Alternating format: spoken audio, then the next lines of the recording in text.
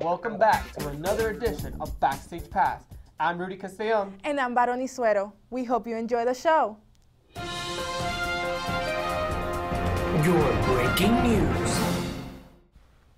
700 protesters arrested after marching in thick rows on the Brooklyn Bridge sidewalk to continue fighting for their rights. They have been camped out in Manhattan's finance district for nearly two weeks with several marches. As posted on their website, Occupy Wall Street is a leaderless resistance movement with people of many colors, genders, and political persuasion.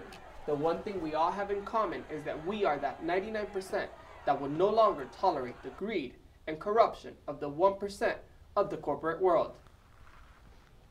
Word around teen school hallways, Sexting, is the new intercourse in this technologic-driven society. The state of Florida bans teen sexting with a new state law as of Saturday, October 1st.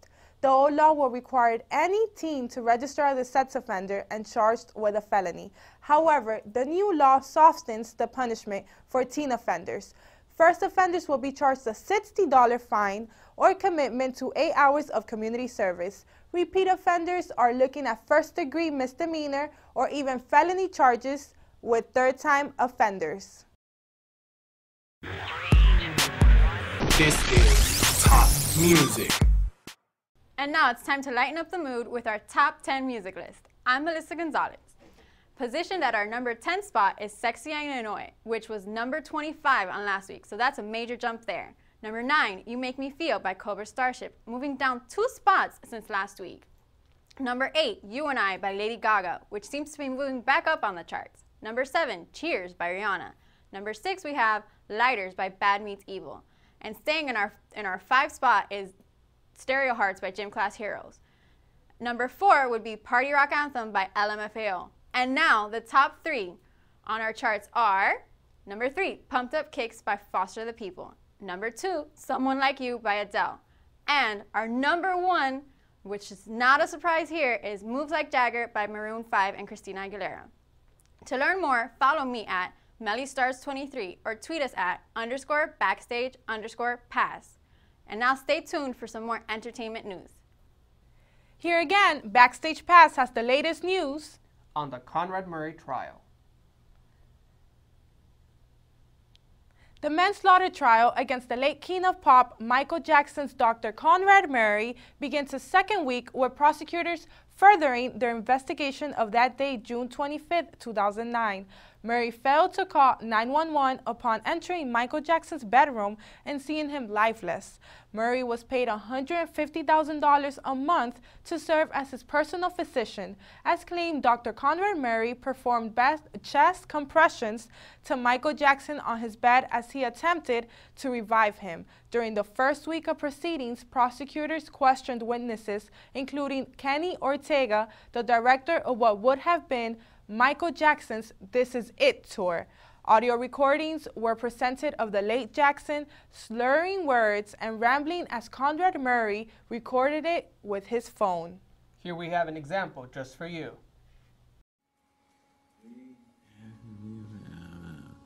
When people leave the show, when people leave my show,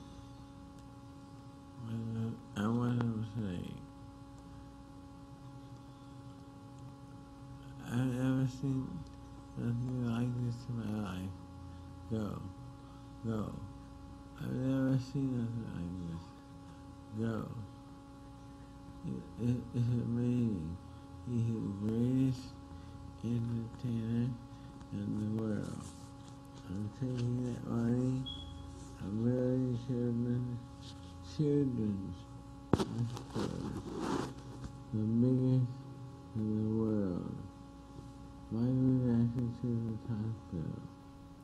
Days after this recording, Murray bought 25 more of 20 milliliters of propofol.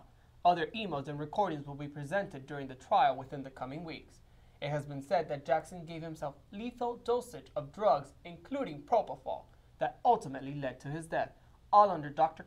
Dr. Conrad Murray's care. However, the Los Angeles Police Department stated that Michael Jackson's fingerprints were not found on any propofol bottles or lorazepam bottles.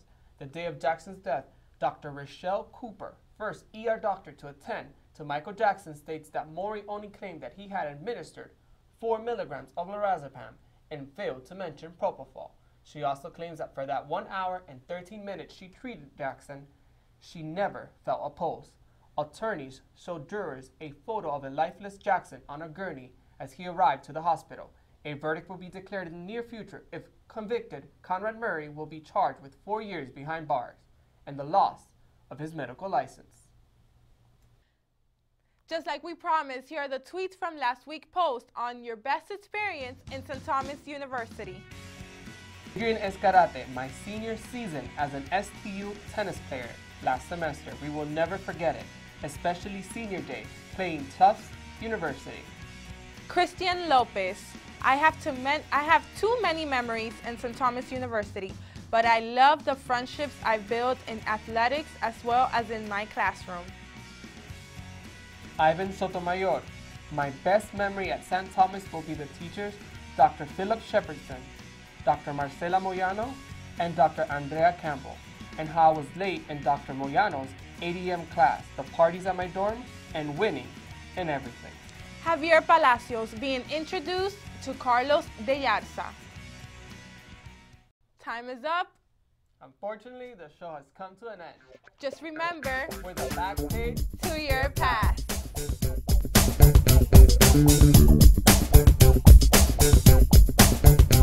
past.